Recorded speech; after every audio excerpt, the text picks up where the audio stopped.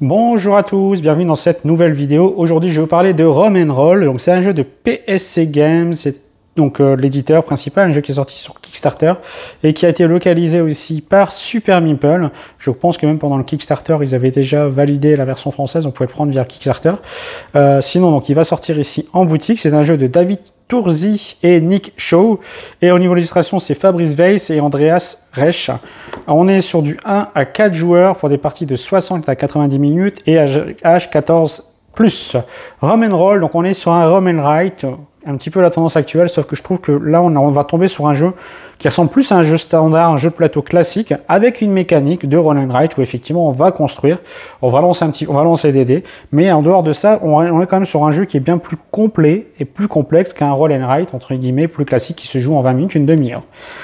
Euh, je vais vous montrer ici ben, déjà tout le matériel qu'on va retrouver dans la boîte. On va avoir tout un ensemble de gros dés qui sont bien nécessaires pour bien avoir la visibilité en fait des icônes qu'il va y avoir en jeu. J'en ai mis de côté parce que là je vais essayer de faire une, mise en place, une explication dans les grandes lignes pour trois joueurs.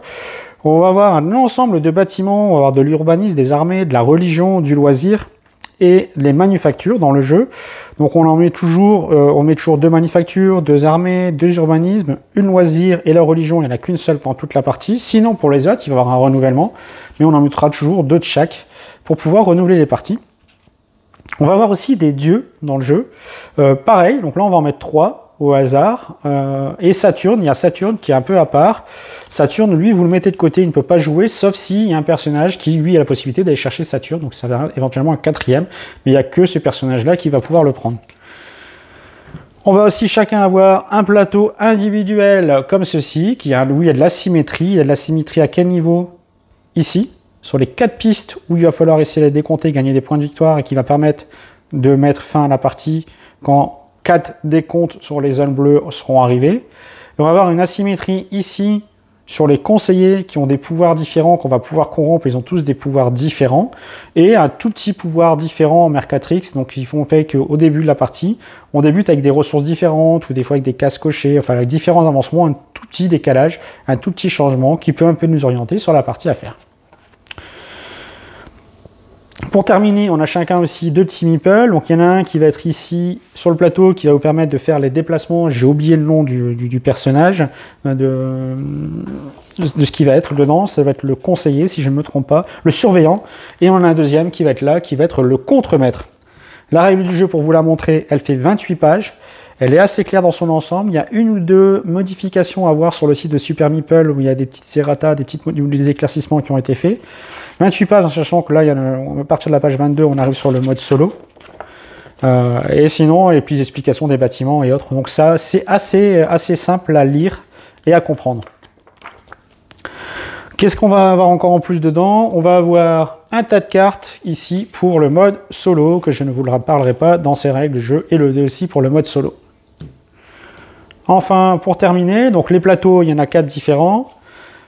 Au dos des plateaux, vous pouvez toujours vérifier, il y a une aide de jeu qui vous rappelle les icônes, les valeurs des différentes phases de dés que vous allez avoir, les icônes que vous allez retrouver en fait dans le jeu. Pour terminer, il existe aussi une extension qui va sortir, qui est l'extension personnage.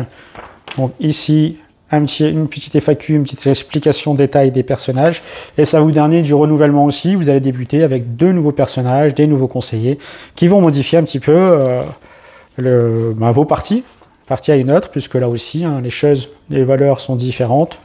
Les départs en haut, ici, seront différents. Et les conseillers seront aussi tous différents, avec des modifications des valeurs sur les points de victoire.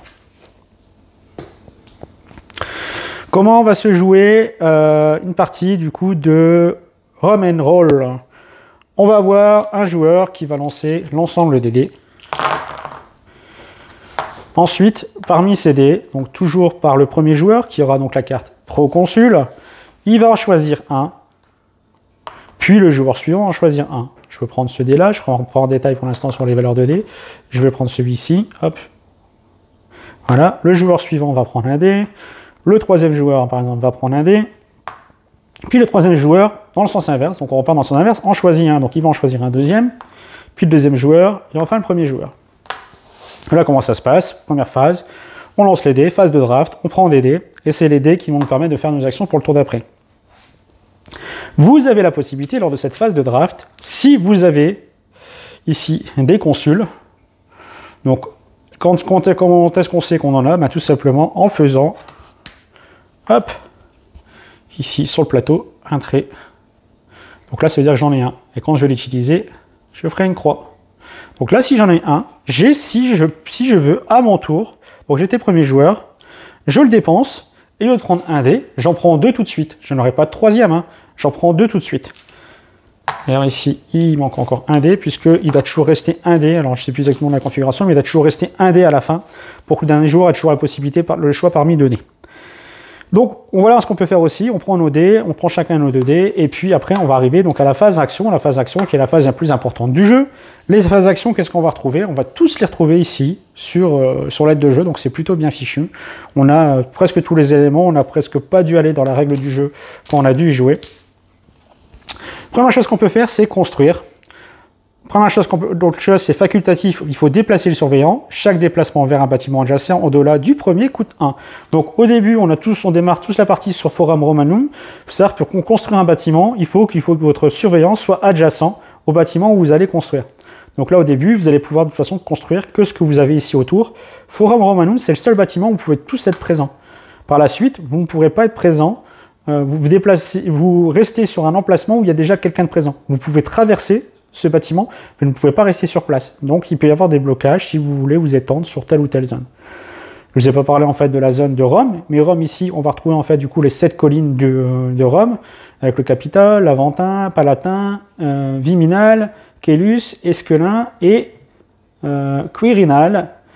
Et euh, tout, donc ça, ce sont des zones de collines, et après les zones blanches, ce sont des zones de marécage.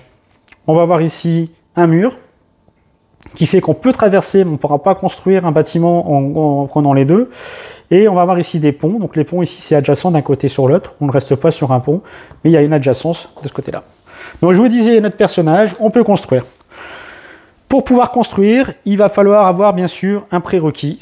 Il est noté dessus ici. Il faut que j'ai soit ce marteau, soit ce côté-là, donc qui est l'ingénieur. Donc il faut que sur votre dé, vous ayez ce symbole-là ou ce symbole-là. Dernière possibilité qu'il y a à avoir, le consul a une possibilité, si vous avez un, vous le cochez, et lui permet de remplacer, d'avoir le symbole de construction, ce symbole-là ici avec la main, ou ce symbole-là que je vous parlerai un petit peu après, qui permet en fait de euh, lever une légion. Donc, je choisis de construire. Pour pouvoir construire, il va falloir construire l'un des bâtiments qu'il y a ici. Les bâtiments qu'il y a ici, ils ont tous un coût de construction qui est noté sur le côté. Là, ça serait du bois et de la brique pour pouvoir construire un marché. Ici, c'est comment je vais devoir le construire. Donc c'est un L ici de 4 cases. Quand vous avez un symbole immédiat, c'est immédiatement lors de la construction que vous obtenez un bonus. Là, ça serait d'obtenir un bijou si adjacent à au moins un bâtiment armé. Donc si au début de partie vous faites ça, ben, il n'y a aucun bâtiment armé, donc vous n'aurez pas ce bonus-là. Ce symbole-là, c'est un symbole de production. Quand il y aura des phases de production, vous faire de la production, vous appliquerez l'effet qui est là. Donc là, je dépense un bois par exemple, et, un, une brique pour pouvoir éventuellement construire. Pour construire le bâtiment, dernière chose que vous pouvez avoir, si vous avez un ingénieur, il va vous permettre d'avoir une réduction de une ressource, à condition que le bâtiment où vous allez, il n'y a personne dessus. Donc là, au début de partie, tiens, je voudrais faire le marché, comme je vous disais, euh, où je vais faire la villa. Je vais faire la villa. Euh, j'ai les ressources qu'il faut, j'ai la villa. Il n'y a encore personne de présent dessus, il n'y a aucun contremaître. J'ai l'ingénieur. Eh bien, ça va me coûter une ressource de moins. Donc, au lieu de me coûter deux briques et un bois, ça va me coûter, je vais pouvoir avoir une réduction de 1. Sur mon plateau, on a des ressources au début. Donc, lui, ce personnage-là, il a un peu plus de ressources. Donc, un bois et une brique, j'ai ce qu'il faut je les coche, un bois, une brique, plus que ça me coûte un de moins. Je vais construire ici maintenant une, villa. J'obtiens un bijou immédiatement. La villa, je décide de la construire où je veux, en respectant bien sûr le L. Donc je la mets, on peut la mettre dans le sens qu'on veut. Euh, hop, allez, je la mets comme ça. Hop, hop, hop, hop, hop.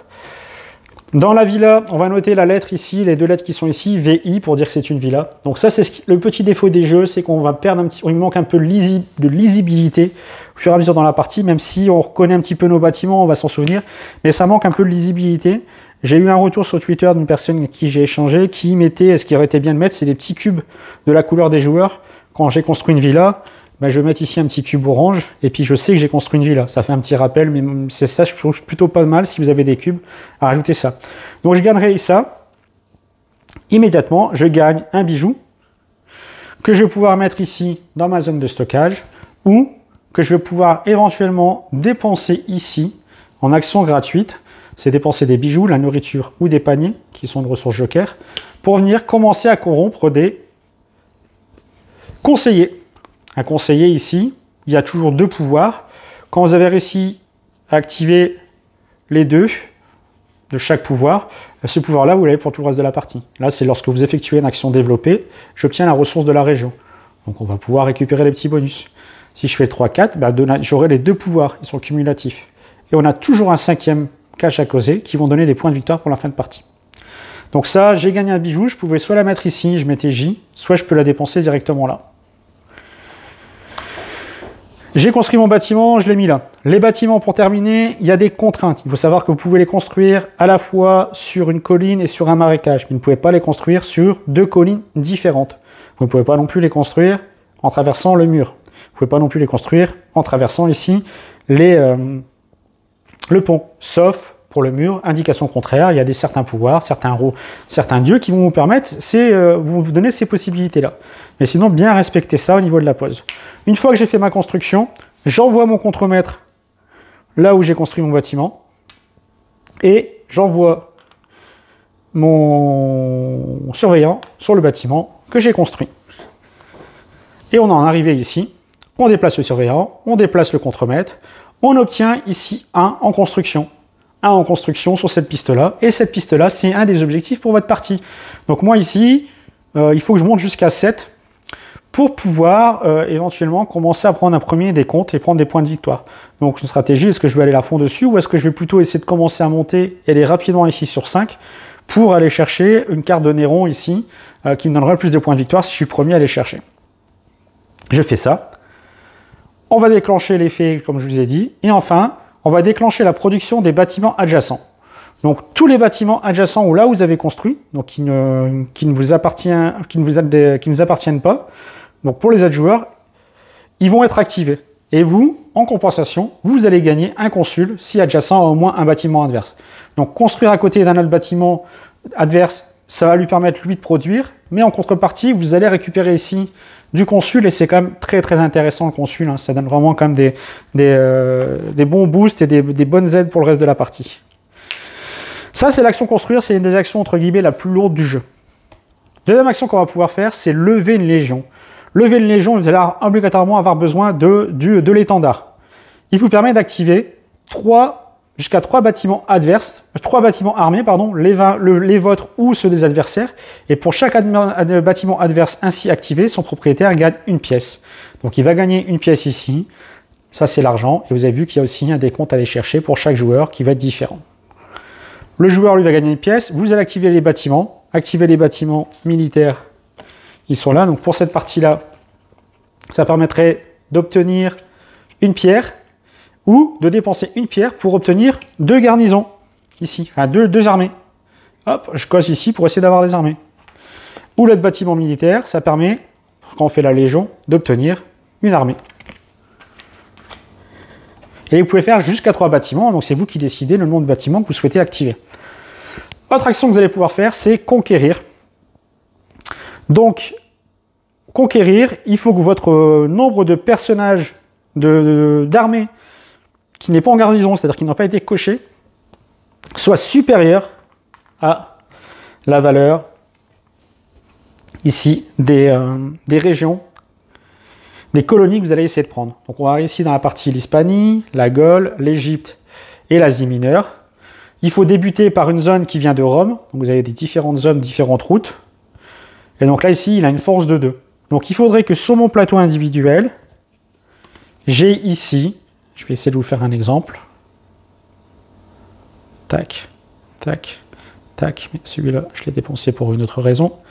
Donc là, j'ai une force de 2, puisque celui-là, il ne compte pas, parce qu'il est déjà en garnison. J'ai une force de 2, et on me demande d'avoir une force de 2 pour celui-ci.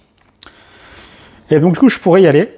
Je fais une croix, et comme j'ai pris la région, j'ai colonisé cette partie-là, il faut que je mette une garnison pour la garder.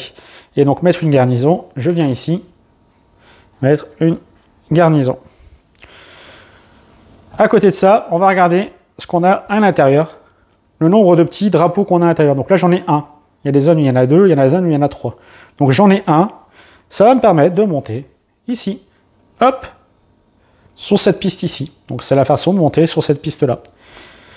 On vient, on vient cocher là. Voilà.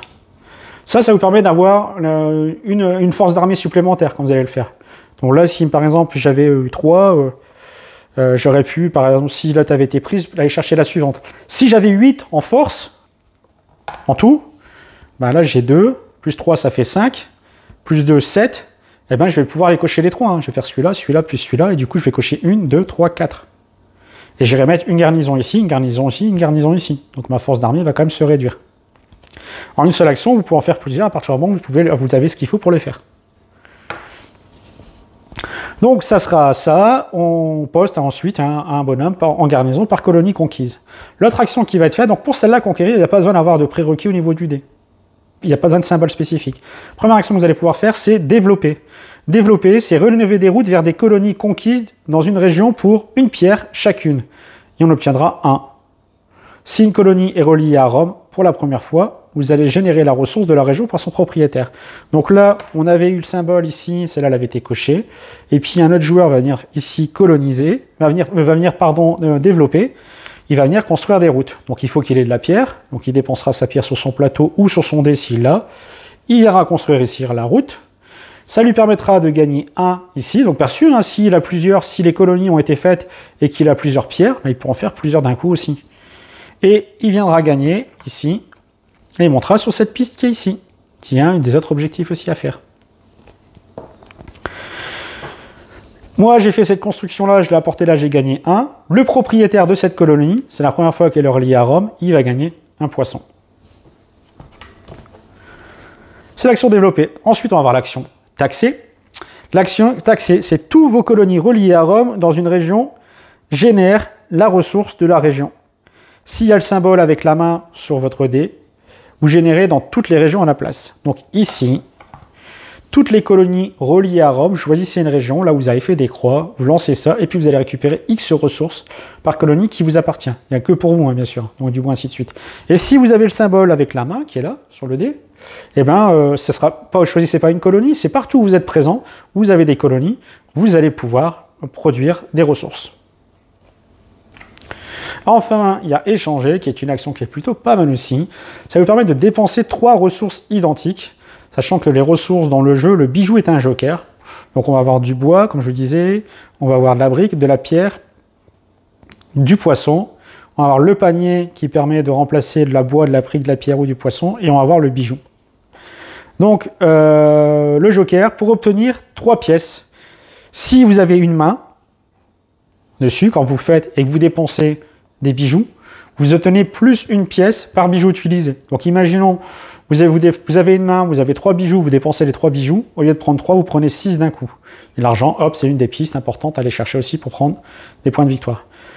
Tous les autres joueurs peuvent déclencher la capacité de production d'un de leurs bâtiments, dont vous. Donc là, une fois que vous avez fait ça, vous allez, chaque joueur va pouvoir lancer une production d'un de ces bâtiments. Ici, ça pourrait être obtenir une garnison, euh, euh, ici, celui-ci, le marché permet d'obtenir deux ressources, bois, briques ou pierre, puis de dépenser n'importe quelle trois ressources pour obtenir un bijou.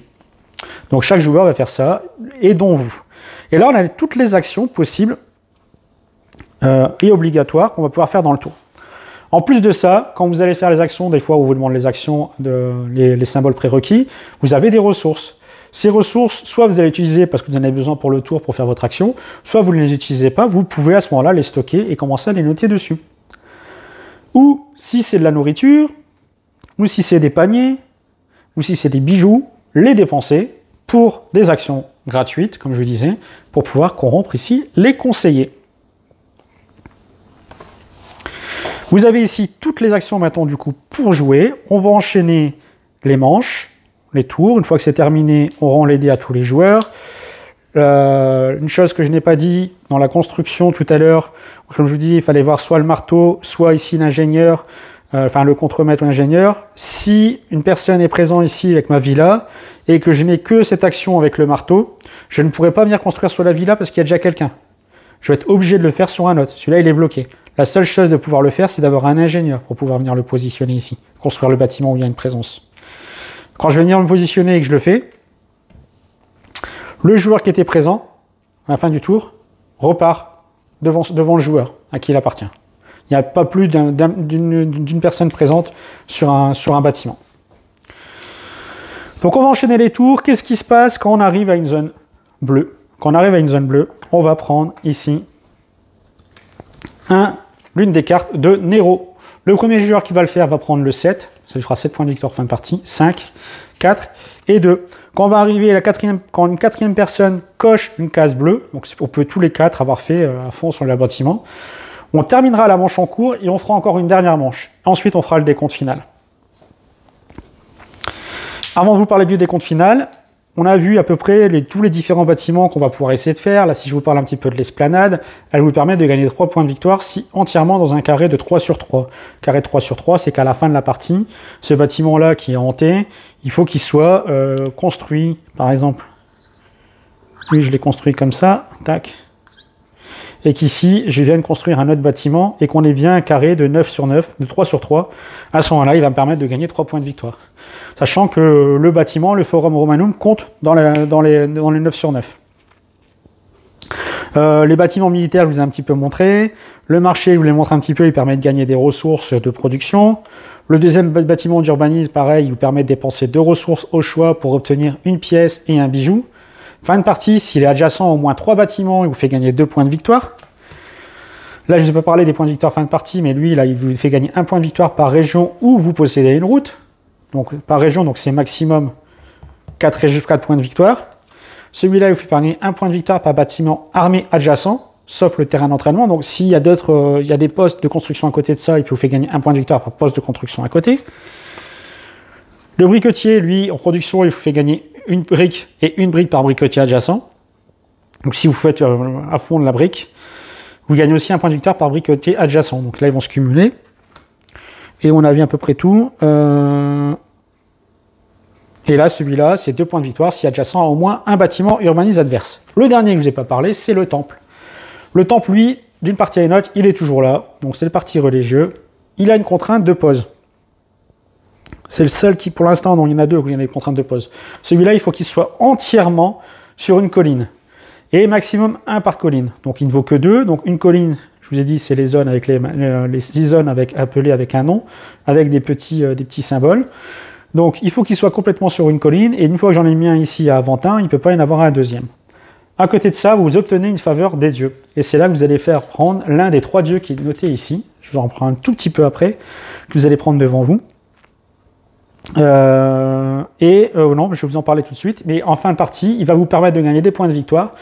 Si vous avez construit un temple sur le Capitole, c'est 3 points de victoire. Sur le Palatin et le Kelius, vous gagnez 2 points de victoire. Sinon, sur tous les autres collines, c'est 1 point de victoire.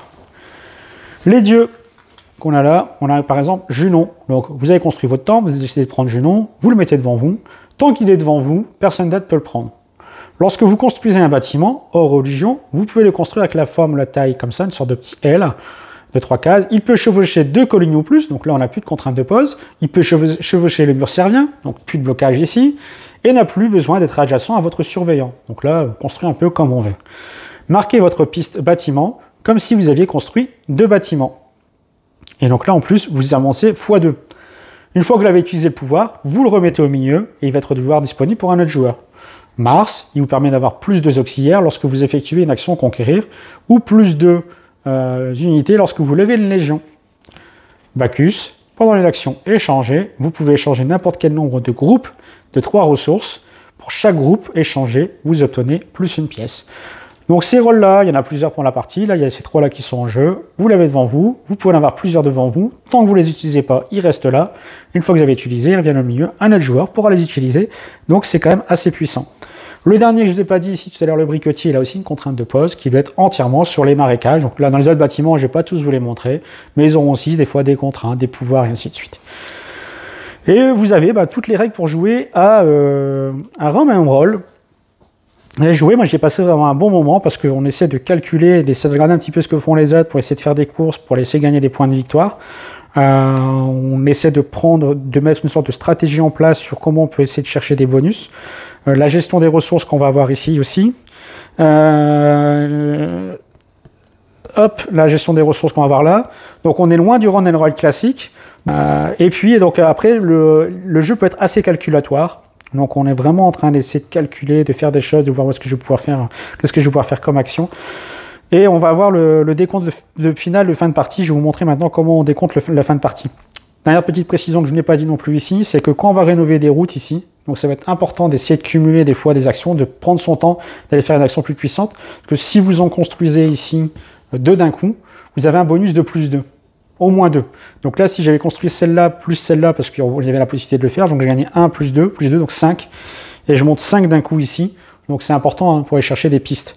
Moi, dans ma partie, au tour d'avant, j'ai pu, alors j'ai eu de la chance, hein, ça s'est bien tombé, euh, ça aurait pu, euh, si quelqu'un le faisait avant moi, j'étais bloqué, mais ici tout avait été construit au niveau des garnisons. Euh, et puis bah, moi je suis arrivé, non la première, la première chose que j'ai fait c'est que j'ai d'abord construit toutes les garnisons avec un gros coup, ce qui fait que je suis monté assez vite ici, pour, sur 5 j'ai été prendre le décompte, et sur le tour d'après j'avais ce qu'il faut, j'avais 6 pierres devant moi, j'avais du stockage plus sur mon dé. Et du coup, je suis venu poser 1, 2, 3, 4, 5. J'avais largement assez pour construire toutes les routes. J'ai construit toutes les routes qui m'ont donné 1, 2, 3, 4, 5, 6, 7, 8, 9, 10, 11, plus le bonus. Donc 13, 13 d'un coup. Et avec les 13 d'un coup, eh bien, je suis venu faire en, en one shot, je suis monté d'un coup. Donc il y a des choses à voir. Maintenant, on me l'a laissé faire le truc parce qu'ils ne l'ont pas vu arriver. Un autre joueur peut venir bloquer et puis euh, vous prendre ben, des points avant. Donc il faudra le faire en plusieurs fois. Fin de partie, on a le décompte, tout est ici. Qu'est-ce qu'on va faire? On va prendre les pistes des pièces. Donc on va regarder où est-ce qu'on en est. On prend autant de points de victoire que là où on est présent au niveau de sa valeur de, sa valeur de pièce. Voilà, piste de bâtiment. Piste de bâtiment, ici pareil, on va prendre autant de points de victoire. La piste héritage, pareil ici. Et la piste gloire des colonies, qui est ici. Enfin, on va prendre des points de victoire des conseillers. Chaque conseiller, vous avez coché les 5 cases, vous voyez, 4, 4, 4. Piste de victoire des manufactures. Donc là, on va prendre chaque bâtiment. Les bâtiments que vous avez construits et vous donnent les points de victoire. Vous allez prendre pour chaque bâtiment euh, les points de victoire. Armée, donc ça va être manufacture, urbanisme, armée, religion et loisirs. Enfin, vous allez prendre les points de victoire des cartes bonus de Néron que vous avez pris. Et un point par deux euh, armées que vous avez qui sont en garnison ou pas, allons on compte toutes les, unités que vous avez. Et pareil, donc arrondi au supérieur, et la même chose ici, arrondi au supérieur pour les, pour les consuls. Vous avez toutes les règles, euh, tout au moins vraiment les grandes grandes lignes pour pouvoir jouer à, euh, un rom and roll. Il y aura peut-être quelques petits oublis que je vous ai pas parlé hein, pour, pour les ressources. Il faut savoir, pareil, quand vous allez utiliser le conseiller qui est ici, euh, les actions gratuites, vous ne pouvez pas dépenser des ressources que vous avez stockées ici. C'est seulement ceux de vos dés que vous avez utilisés ce tour-ci, ou éventuellement, quand vous les gagnez, là, vous pouvez les dépenser directement ici. Mais ceux que vous avez stockés, vous ne pouvez pas les utiliser comme action gratuite pour venir ici. Les choses importantes ici, lui, c'est vraiment intéressant d'avoir, dès que vous pouvez, d'en avoir ici, parce qu'il vous permettre de prendre 2 dés euh, d'un coup. Ça, c'est assez intéressant. Et vous permet surtout de gagner des actions, comme là, des actions en plus. Euh, ce qui peut être aussi fort intéressant quand vous n'avez pas des bondés de pouvoir dépenser pour quand même faire une action euh, comme il y a là. En tout cas, j'espère que cette vidéo vous a plu. Comme d'habitude, n'hésitez pas à liker, partager, vous abonner si ce n'est pas encore fait, me laisser des commentaires qui font toujours plaisir. Et sur ce, je vous dis à ciao, bye bye pour une autre vidéo.